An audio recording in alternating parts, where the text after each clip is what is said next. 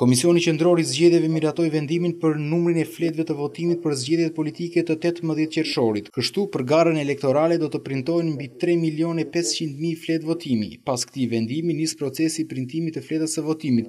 KQZ do t'i dërgojë kompanisë greke Lykos Group modelin përkatës. Një ditë më parë, KQZ ka miratuar përmbajtjen dhe renditjen e partive politike në fletën e votimit. Sipas shortit të hedhur, subjekt i parë politik në fletë do të jetë FRD, ndërkohë që LSI do të renditet e katërmbëdhjeta, dhe PS e pesëmbëdhjeta.